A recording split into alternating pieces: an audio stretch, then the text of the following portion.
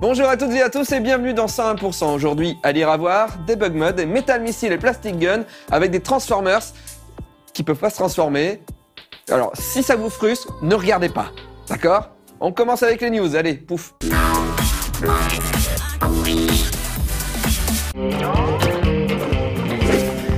Le mythique Pang, qui est aussi connu sous le nom de Pumping World au Japon ou de Buster Bros aux États-Unis, s'apprête à faire son retour dans une déclinaison sous-titrée Adventures. Développé par Pasta Games pour le compte de Dotemu, le jeu se veut fidèle aux racines de la série et devrait donc proposer un concept très arcade consistant à enchaîner les niveaux pour y dégommer des bulles. Pour ce faire, on pourra évidemment compter sur le mythique harpon des épisodes originaux, mais aussi sur un arsenal un peu plus varié que par le passé, composé notamment de lance-flammes ou de fusées à pompe. Prévu sur PS4, Xbox One, Windows, iOS et Android, Pang Adventure sera lancé le 19 avril prochain. Le 19 avril, c'est aussi la date à laquelle le PSN accueillera la version PS4 de l'excellent Invisible Inc. Pour mémoire, on parle ici d'un des tout meilleurs jeux de 2015 qui arrivait à mêler avec brio tactique, infiltration et missions générées de manière procédurale. En plus de quelques ajustements pour s'adapter au contrôle à la manette, ce portage aura la bonne idée de proposer d'office l'extension Contingency Plan. Via quelques tweets forcément laconiques, Tyrone Rodriguez nous informe qu'avril est également le mois visé pour la sortie de The Binding of Isaac Afterbirth sur console. Selon le fondateur de Nicalis, les adaptations Wii U, PS4 et Xbox One passeront une ultime phase de certification en fin de semaine prochaine. A priori, les vagues d'ennemis du mode grid, les nouvelles fins ainsi que le boss final inédit de ce gros DLC n'arriveront pas sur New 3DS. La séparation des leadboards par plateforme est quant à elle bien confirmée, faute de politique commune sur les fonctionnalités en ligne chez les différents constructeurs. Attendu à l'origine pour le 28 avril, Total War Warhammer a vu sa sortie décalée au 24 mai. Mike Simpsons de The Creative Assembly évoque la volonté de ne pas précipiter les choses, afin notamment de laisser un maximum de temps aux testeurs de faire leur boulot. Décrit comme un jeu énorme et potentiellement comme le meilleur Total War jamais créé, cet épisode crossover prendra donc le temps qu'il faudra pour ne pas décevoir les fans. On termine le tour d'actualité du jour avec le rachat inattendu de Radiant Entertainment par Riot Games, à qui l'on doit bien évidemment League of Legends. Si le montant de la transaction n'est pas connu, on sait en revanche ce qu'il adviendra des projets du studio. Actuellement en accès anticipé sur Steam, Stone Hearth, un jeu d'exploration et de survie au graphisme cubique, verra ainsi son développement se poursuivre, tandis que Rising Thunder, son jeu de baston free-to-play, sera stoppé dès le 18 mars prochain. L'équipe en charge de ce dernier est néanmoins tournée vers un projet encore tenu secret, lequel pourrait logiquement impliquer du versus fighting.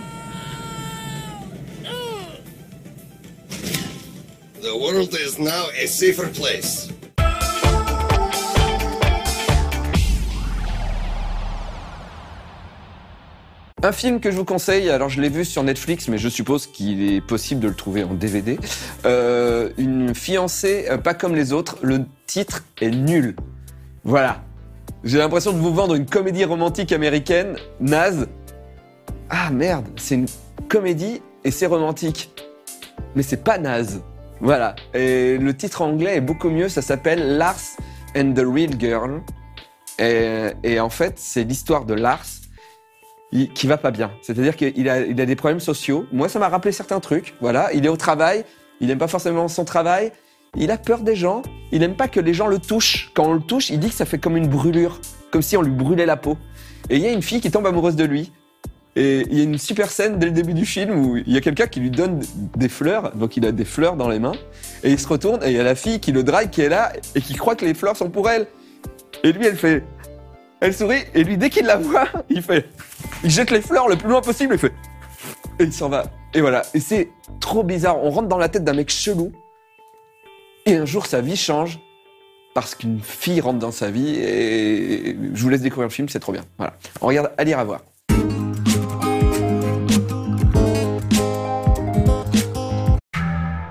De belles découvertes à lire et à voir en ce début mars, alors que l'hiver décide de s'accrocher encore un peu. De jeunes auteurs, des monstres sacrés, des trésors apparemment oubliés, des lycéens bien conscients de ce qu'ils sont, l'absurdité de la guerre et une reine des neiges bien loin d'être une princesse Disney ordinaire. Angleterre, Brésil, USA, Japon, Russie, il y a de quoi se dépayser, aussi bien au niveau des thèmes que des destinations. Yamaji Hidenori est un jeune auteur du Shonen Sunday, un hebdomadaire de l'éditeur Shogakan. De fait, Atlantide est sa première série. Un héros amnésique, un anneau mystérieux, une civilisation oubliée et une organisation criminelle clandestine surpuissante. Rien de bien révolutionnaire là-dedans, mais le Londres steampunk présenté dans ce premier volume donne un cadre agréable aux aventures de Sully, un voyou qui veut protéger sa petite bande de copains, aussi paumés que lui. Il ne se doutait pas de ce qu'il faisait quand il chipe un anneau au mystérieux pouvoir, inspiré quelque peu de Green Lantern. Si l'histoire n'est pas follement originale, celle-ci va se boucler en trois volumes. L'auteur ne perd donc pas de temps et donne un rythme soutenu aux aventures de ses personnages. Le trait du mangaka n'est pas encore des plus affirmés, on sent y poindre les influences des dessinateurs shonen actuels. Si Atlantide n'est pas une révolution en soi, il est toujours agréable de découvrir de jeunes auteurs, en espérant que celui-ci arrivera à donner de l'ampleur à la suite d'Atlantide et à ses futures histoires. Delcourt continue de publier les récits, spin-offs et autres dérivés se déroulant dans l'univers de Hellboy, le héros créé par Mike Mignola, apparu pour la première fois en mars 93. Après de nombreux volumes et deux films hollywoodiens adaptés par Guillermo del Toro, l'éditeur au Triangle Rouge propose aujourd'hui la première enquête du garçon de l'enfer. Invoqué sur Terre en décembre 44 par Rasputin et les nazis, la créature est néanmoins recueillie par le BPRD, le Bureau de recherche et défense paranormale américain. Il part pour la première fois en mission au Brésil en 1952, près d'une ancienne forteresse portugaise du XVIe siècle, reconvertie en studio de cinéma. Évidemment, des événements pas très catholiques semblent se tramer dans les environs. Des nazis, des singes zombies, des monstres en carton-pâte, une ambiance rétro très typée années 50, avec le graphisme bien défini de la série mise en place par le créateur et dessiné ici par Alex Maliv. Si les enjeux ne sont pas trop cruciaux, l'ambiance de l'album permet de découvrir avec plaisir les débuts un peu rugueux d'Hellboy, sans forcément avoir à connaître sur le bout des doigts la mythologie démoniaque de la série. Q, nouveau titre chez Kiun, est également la première série d'un autre jeune auteur, Shihira Tatsuya. Si c'est la première série régulière de l'auteur, celui-ci a déjà un passé d'illustrateur bien fourni et a pu s'essayer un peu au récit de manière occasionnelle. Cela se sent à la patte graphique assurée de l'auteur. Il est aussi bien à l'aise sur ses personnages, toujours séduisants, que sur ses monstres insectoïdes à la Pacific Rim. Rem est, comme tout bon héros de shonen qui se respecte, un peu voyou sur les bords. Cela fait dix ans que l'humanité n'a plus le droit de lever les yeux au ciel et doit courber les chines. Dix ans depuis l'apparition de Solaris, un œil dans le ciel, même si on est loin d'être chez Philippe Kadik. N'importe qui croisant le regard de cette mystérieuse entité dans les cieux déclenche aussitôt l'envoi sur Terre d'un œuf. De celui-ci éclot sans tarder un démi, un monstre gigantesque, presque invincible. Rem ne peut s'empêcher de venir au secours de la gourmande et innocente Q durant la rencontre avec un de ces monstres. Il ne lui faudra pas longtemps avant de se rendre compte que les mâchoires de la jeune fille sont plutôt robustes, pouvant sans peine mâcher du monstre au petit-déj. La grande force de ce début de série réside avant tout dans son graphisme efficace et son action effrénée. Il faudra attendre un peu pour savoir si l'auteur arrivera à proposer une histoire tout aussi efficace et surprenante que son dessin. Le hasard fait parfois bien les choses. C'est ainsi que dans une brocante, Lewis Trondheim et Nicolas Keramidas, dessinateurs qui a travaillé entre autres au studio Disney de Montreuil, sont tombés sur de vieux numéros du magazine Mickey's Quest proposant une aventure inédite de la souris, Mickey's Craziest Adventures. Celle-ci serait parue à raison d'une planche par mois entre 62 et 69. Malheureusement, les deux amateurs n'ont pu retrouver que 44 planches, parfois en piteux état, sur les 82 qui forment l'histoire dans son intégralité. On y voit tous les personnages de la bande à Picsou et de l'entourage de Mickey dans une course-poursuite où les Raptous profitent d'un rayon rétrécissant pour s'en prendre à la fortune de Picsou. Comment ça, le style, le trait et le ton semblent tout de même trahir une histoire résolument moderne? C'est vrai que malgré le côté échevelé du récit, le tout se tient bien, même si les pages manquantes créent évidemment de grandes ellipses. Mais avouez que ce serait quand même tordu que quelqu'un s'amuse à faire semblant de redessiner une histoire perdue de Mickey, non? Il faudrait imiter le grain de l'époque, voire faire croire que certaines pages sont déchirées et n'ont pu être récupérées. Ce serait tordu, mais à la fois intrigant et très amusant. Cela donnerait un album expérimental, très classique, rétro et en même temps délicieusement moderne. À chacun de voir s'il a envie de croire à l'étonnante histoire proposée par Trondheim. Autre album issu de cette étonnante collaboration entre Disney et Glénat autour de la célèbre souris, l'histoire à laquelle s'est attelé Cosé. Ce dessinateur suisse est le créateur notamment de Jonathan chez Le Lombard. Dans une mystérieuse mélodie, il raconte l'histoire inédite de la rencontre entre Mickey et Minnie, une sorte de Barton Fink dans le monde de Mickey. La souris, pour l'occasion, est scénariste et connaît le succès avec sa série Dog the Dog, même si le chien nous semble plutôt familier. Il va se retrouver embringué avec Dingo dans une histoire de manuscrit disparu. L'auteur ne feint pas ici le found footage, si on peut dire. Il s'attelle à dessiner une histoire à l'ancienne, aussi premier degré que possible. Le style prend donc un aspect vintage, aussi bien dans les couleurs que dans les dessins. L'histoire se veut bon enfant, presque naïve, avec un Mickey plus proche cette fois de Steamboat Willie que du journal de Mickey. L'hommage est si bien exécuté que pour un peu, on aurait envie de croire qu'elle est canonique et d'époque. D'autres albums tout aussi expérimentaux devraient continuer à paraître chez Glénat par la suite, dont une version de Mickey par Loisel. On est déjà curieux de voir le résultat. Première vue, difficile de faire plus différent que Deadpool et Le Monde selon Uchu, dont le premier volume est paru récemment chez Casterman. Entre le bad boy machine à punchline de Marvel et l'histoire de lycéen toute simple que nous propose Noda Ayako, on ne navigue pas franchement dans le même genre. Pourtant, les deux œuvres ont bien un point en commun, une filiation que l'on pourrait faire remonter à Diderot. Oui, quand le philosophe des Lumières s'attachait à briser l'illusion romanesque dans Jacques le Fataliste, paru de manière posthume dans son intégralité en 1796. Ces héros semblaient s'y révolter parfois contre leur auteur. Il en est de même pour Uchu. Il ne vient plus en classe depuis qu'une prise de conscience a changé sa vie. Ses camarades, eux, restent aveugles, prisonniers de leurs véritables conditions. Même IA, qui pourtant ressent la pression constante du regard de bien des gens, finit par se faire une raison et accepter ce qu'il est. Le monde selon Uchu est à la fois une histoire de lycéens, des tranches de vie sur la scolarité japonaise et sur la naissance des premiers émois, et une réflexion sur le manga, sur la vie des personnages. Le lecteur est-il un monstre assoiffé de voyeurisme qui veut connaître les pensées les plus intimes de personnages, pourtant assez ordinaires? Qu'arrive-t-il à ceci quand l'histoire se termine, ou qu'on referme le livre? Les force-t-on à une boucle temporelle éternelle quand on relit sans cesse la même scène Noda Ayako, qui était de passage à Angoulême récemment, frappe très fort avec ce premier volume. Il est à la fois extrêmement amusant, intelligent et somptueux graphiquement. On a hâte de voir comment les personnages vont se débattre entre les mains de la talentueuse auteure dans le second et dernier tome. Woody Guthrie, chanteur folk américain des années 40, ne cachait pas ses idées communistes, voire anarchistes, à une époque où cet engagement compliquait passablement la vie aux États-Unis. Symbole le plus frappant de ses idées, il inscrivait sur ses guitares This machine kills fascists. Jean-Pierre Pécaud, Maverick et Damien imaginent dans leur album sorti récemment chez Delcourt un ingénieur russe qui a décidé d'appliquer cette maxime de manière beaucoup plus littérale. Sergei, cet ingénieur, la même phrase en russe sur un tank IS-2 qui participera à plus de 50 ans de conflit, de la Seconde Guerre mondiale à l'Afghanistan en passant par l'Angola. Sergei est une sorte de version bien plus belliqueuse et bien moins idéaliste de Horikoshi Jiro, dépeint par Miyazaki dans Le vent se lève. L'ingénieur russe a créé sa machine pour tuer ses semblables le plus possible, aucun doute là-dessus. C'est peut-être pour servir une noble cause, pour se débarrasser d'une dictature, même s'il faut pour cela se mettre au service d'une autre. Tout au long de l'album, on peut voir l'ingénieur obsédé par son instrument de destruction.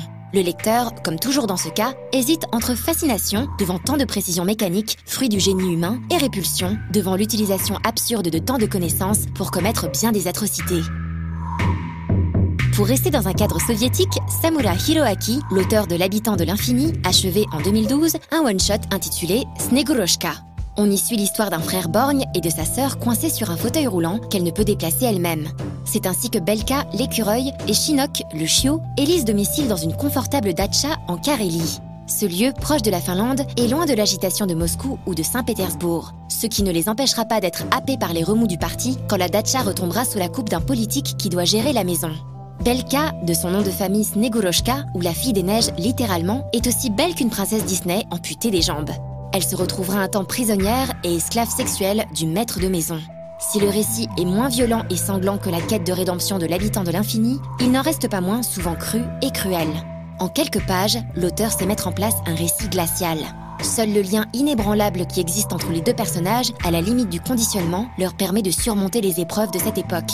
Une période tourmentée où le moindre revirement peut signifier une purge en profondeur du parti, une exécution sommaire ou une visite au goulag pour les plus chanceux. Le quotidien ne saurait faire oublier pendant longtemps l'histoire avec un grand H. Elle révélera au fur et à mesure et dans l'ombre, encore une fois, le mystérieux Rasputin. Le trait somptueux de l'auteur trahit à chaque case un souci presque documentaire de réalisme. Il est mis en valeur dans un beau volume, au format plus grand qu'un manga habituel. Cette histoire enneigée, à réserver à un public adulte, sera séduire tous les connaisseurs.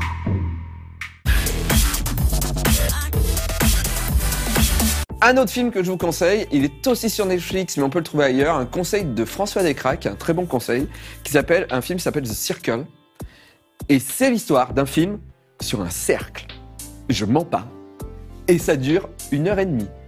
Une heure et demie en huis clos sur. Alors je sais pas combien il y a de personnages, mais il doit bien y avoir 20, 20, 20, 25 personnages. Et tous ils sont en cercle autour d'une boule bizarre. Peut-être c'est des aliens, peut-être c'est l'enfer, on sait pas. Et toutes les deux minutes, il y en a un qui meurt. Voilà. C'est ouf. Le pitch est ouf et ça tient pendant 1h30 à peu près, peut-être un peu moins d'une heure 30, mais ça tient tout le long. Et la caméra, elle fait que bouger parce que les personnages ne peuvent pas se déplacer. Les personnages sont figés, ils ne peuvent pas bouger, c'est que la caméra qui bouge et qui tourne. C'est ouf. C'est un effet de style, c'est trop bien. Voilà, regardez Bugman.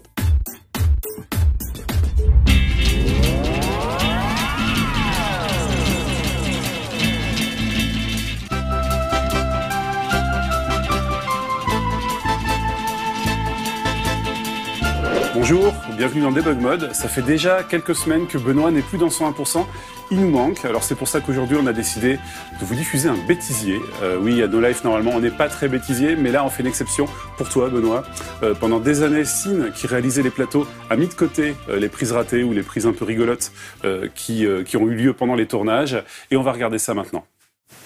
Maintenant que nous avons enfin réussi à nous mettre d'accord sur la dangereuse, la dangereuse, la dangereuse, dangerosité.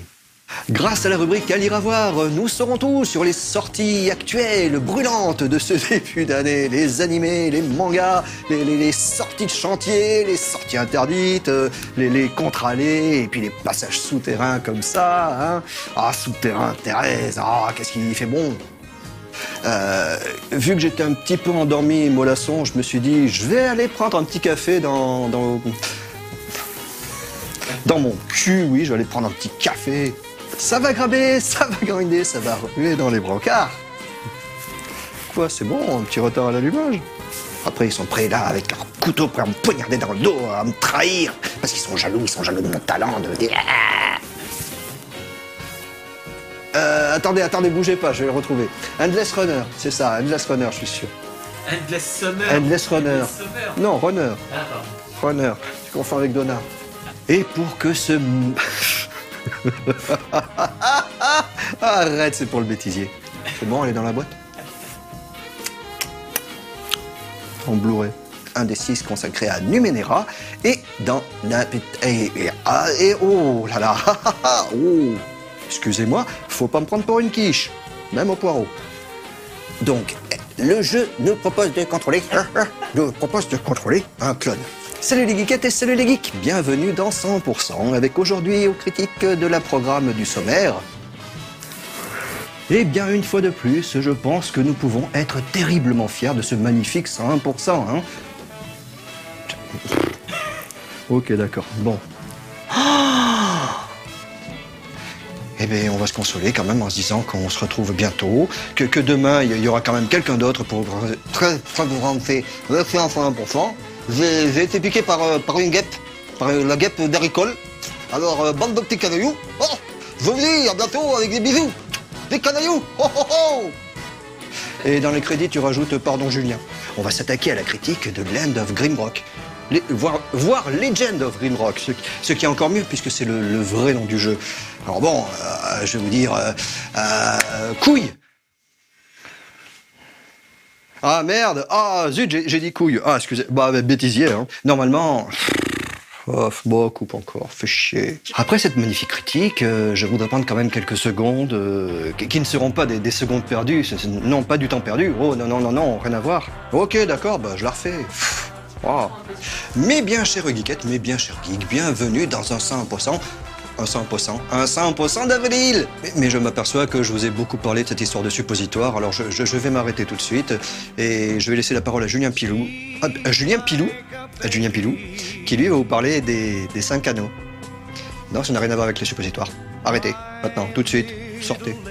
Et oui, comme Julien Pirou et des milliers d'autres, venez avec nous, nous nous battrons ensemble, des petits bleus, des petits rouges, pourquoi qu'ils se battent alors? Mais pour qu'ils se battent pour qui? De la pour Pour qui de la pour Ok Bon, c'était presque ça, c'était mieux sur la première. danger, danger Carpophobe. Les, les gens qui ont la phobie des fruits.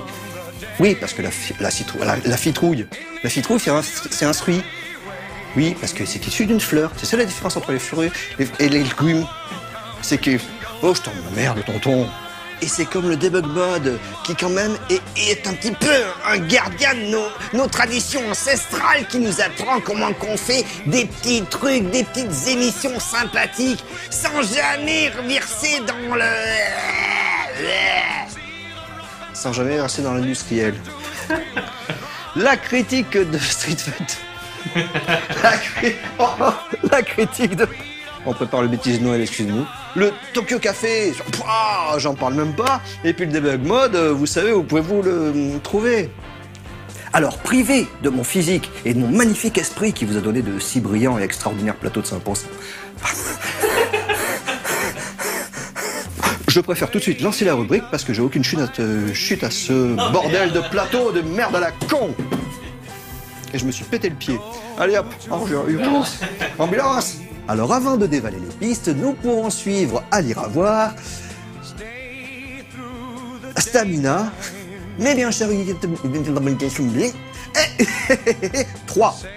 Mais nous retiendrons que vous savez de toute façon comment faire sauter la lourde porte blindée de mon cœur pour récupérer les millions de liasses de bisous dont je vous conchis, bande de nazes. Pardon.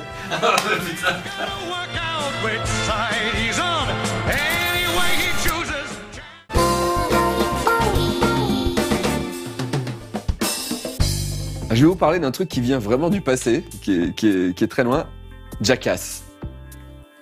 Oui, Jackass, le truc qui était sur MTV où les mecs ils se faisaient mal en s'agrafant euh, les couilles à, des poutres ou je sais pas quoi.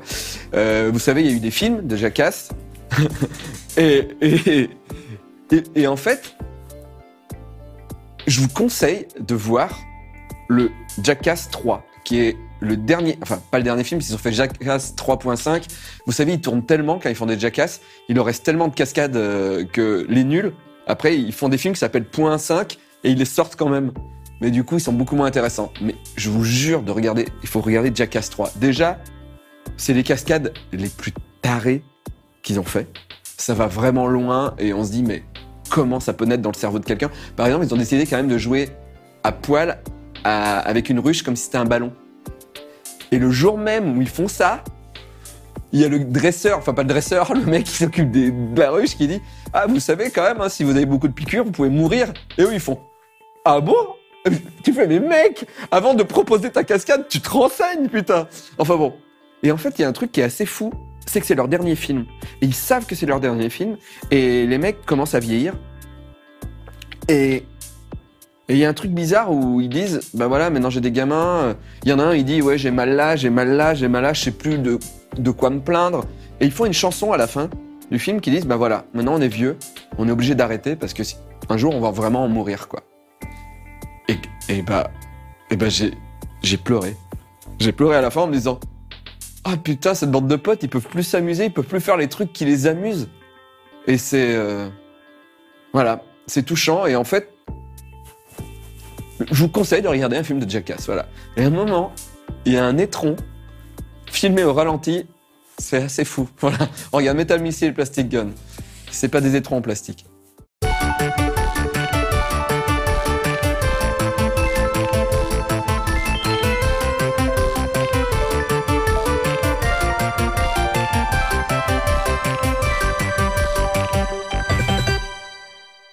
Bonjour à toutes et à tous et bienvenue pour un nouveau numéro de Metal Missile et Plastic Gun. Aujourd'hui, euh, encore euh, la suite de l'arc consacré aux Transformers que Kaiyodo a produit il y a quelques années de cela, donc euh, dans la, dans la série Revoltech. Comme je vous le disais dans l'émission précédente, euh, ce sont des jouets qui offrent un, vraiment une, un- une intéressante ressemblance avec, euh, avec le design du dessin animé et c'est ce qui, à mon sens, euh, fait leur valeur. Donc, euh, à tout seigneur du mal, tout honneur, nous allons commencer par, euh, par l'empereur de la destruction, euh, Megatron. Je pense que les fans connaissent Megatron. euh, évoquer Transformers sans parler de Megatron, c'est tout simplement impossible. L'histoire rapidement de Megatron, lui aussi, bah, naît, naît sur Cybertron, s'endurcit et se transforme en organisant et en participant à des combats de gladiateurs. Donc sur Cybertron, il a différents avatars. Il peut être un hyper tank euh, ou d'autres euh, formes d'armes blindées qui lancent des missiles, qui ont des lasers. Enfin, Megatron ne fait pas dans la dentelle et il est là pour, euh, imposer sa tyrannie d'abord à sa planète Cybertron et à ses congénères cybertroniens et ensuite l'étendre à, toute la galaxie et, même l'univers si, si c'est possible. Donc voilà, pour notre ami Megatron, la boîte Revoltech, donc sobre, hein, euh, comme, comme toutes les boîtes de cette époque-là. Je vous enlève le bandeau euh, en japonais et puis nous allons, euh, nous allons faire sortir l'empereur du chaos, euh, Megatron. Comme je vous en parlais euh, précédemment, ce qui est intéressant, c'est l'animé accuracy du personnage. Donc voilà, euh, c'est vraiment, vraiment la sculpture et le design de- du Megatron qu'on peut voir dans le dessin animé. Dans la boîte, on a une tête alternative, euh, une tête euh, la bouche fermée une autre euh, la bouche ouverte pour exprimer la rage, la colère et la soif de destruction qui anime, Megatron. Donc voilà, peu, d'accessoires, hein, puisque Megatron en a besoin de très peu. Vous avez tout de même des mains de rechange pour des mains ouvertes ou des mains fermées pour pouvoir lui donner un peu plus d'expression corporelle. Le, le laser qu'il porte sur le bras droit est alimenté par un trou noir. Donc euh, une source d'énergie illimitée, euh, qui est une sorte de pont interdimensionnel euh, alimente. Donc euh, vraiment, vous avez Megatron en face de vous, qui a les moyens de, parvenir à ses fins, c'est-à-dire de vous balancer une énergie inépuisable à pleine puissance dans la tronche. Nous allons voir un, autre personnage que, j'affectionne particulièrement, qui est Starscream. Alors Starscream est le, le, sous-commandeur de, euh, de la brigade aérienne des Decepticons. Le rêve de Starscream est de devenir calife à la place du calife, c'est-à-dire de renverser Megatron. Mais le problème de Starscream, c'est qu'il est vain et surtout stupide. Donc ça, c'est un, gimmick qu'on revoit souvent dans la série et qui est assez amusant puisque euh, puisque euh, Starscream a une ambition démesurée mais n'a pas l'intelligence de son ambition. Donc euh, surtout face à Megatron, il n'est pas sorti de l'auberge. Donc euh, à défaut de sortir de l'auberge, on va le sortir de sa boîte. Une extrême ressemblance avec euh, avec le dessin animé, ça c'est hautement appréciable, surtout sur euh, surtout sur Starscream. Donc des, des couleurs euh, assez gloss dans l'ensemble, hein, même pour Megatron, et gloss et je dirais même métallisé. Et ça c'est vraiment euh, sur un jouet qui offre des possibilités d'articulation comme comme ceux de Revoltech, c'est vraiment très très intéressant. Nous avons le sigle des des Decepticons ici, qui est inversé puisque lorsqu'il se transforme, la voilure de sa forme d'avion se met dans l'autre sens le cockpit, enfin on reconnaît bien toutes les caractéristiques de Starscream. Voilà donc dans la boîte vous avez euh, vous avez euh, des sets de mains, euh, doigts pointés, des mains ouvertes, et puis euh, aussi euh, quelque chose qui ajoute à la valeur du jouet, c'est que à l'intérieur de la boîte de Starscream, vous avez Megatron transformé à l'échelle de Starscream. Donc vous voyez ici c'est un, un, un Walter P38, l'avatar de Megatron puisque euh, tous les fans aussi se rappellent de, cette fantastique scène où, euh, Megatron se transforme, se, replie sur lui-même et, devient, une arme. Starscream le saisit au vol et, balance la purée avec. Ensuite, habilement, car ça vient du Japon, vous enlevez euh, la crosse supplémentaire, vous glissez l'arme dans la main de Starscream, vous réintégrez doucement, bien sûr, avec soin, la crosse, et ainsi, vous avez, euh, vous avez Starscream qui, à son corps défendant, va pouvoir euh, permettre à Megatron d'exprimer toute sa puissance. Sur la boîte même, il y a une image où on voit Megatron qui, qui piétine Starscream. Donc là aussi, ça vous, euh, ça vous éclaircit sur les rapports qu'ont ces, qu'ont ces deux personnages dans la série. Voilà, euh, du, du leader de, de forces maléfiques, euh, des, des would-be commandeurs, dévorés par l'ambition, mais, mais, qui n'arrivent pas à arriver à leur fin. Euh, Tout ça, c'est- violent, c'est presque politique. Euh, Les jouets sont quelque chose de beaucoup trop sérieux pour être confiés aux enfants.